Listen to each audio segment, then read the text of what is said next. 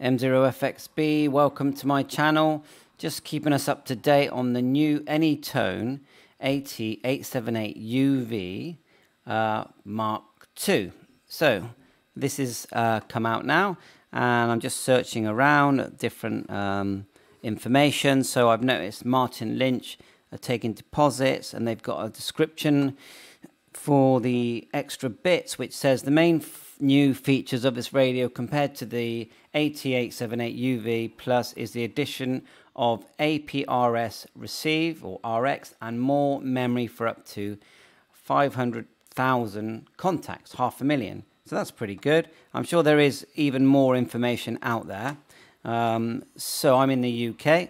Right, so I've looked here at this Anytone page called uh, for it's actually the Wouxun.us page and you can download the software on this page or the CPS have a look at that if you want see what you think about it. Um, right so and then here we've got one notable thing is that the radio I'll go back to Martin Lynch that the top button is green. So they have made the top button is green. So if we click at some of the pictures from Martin Lynch look at the top here green button. So we just click through. There's your APRS info.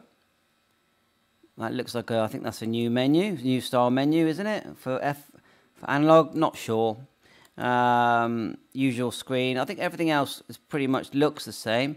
See that IP, APRS got a few things there. Digiana. So okay, you get the idea. And then what's that? APRS info.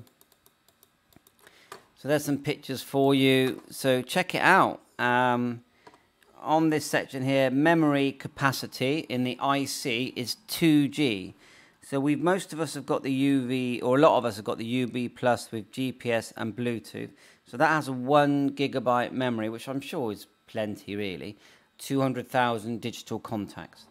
The new one um, has half a million, and yeah, it's repeating it. And the firmware is listed as a different firmware. So what does it say here? Notice the 878UV Mark II and the Mark II Plus has a bigger memory IC with more digital contact.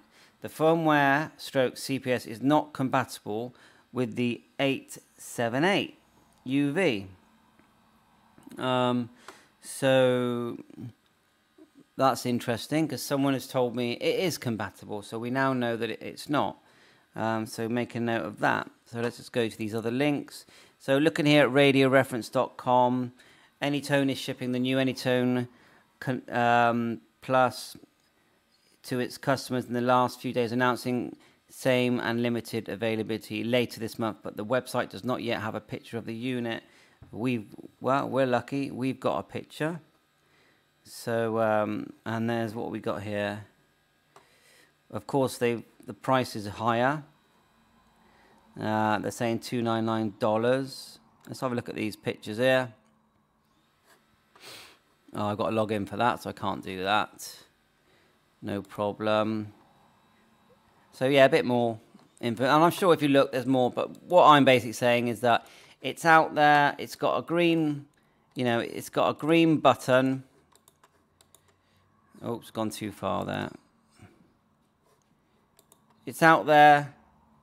It's got a green button. It has half a million contacts plus APRS receive, and I'm sure the, the, the menu function um, is slightly different on the Plus 2 model. It's using different CPS. They're both they're all great radios. So 7.3, hope this helps. M0FXB. Oh, if you like this channel, please subscribe.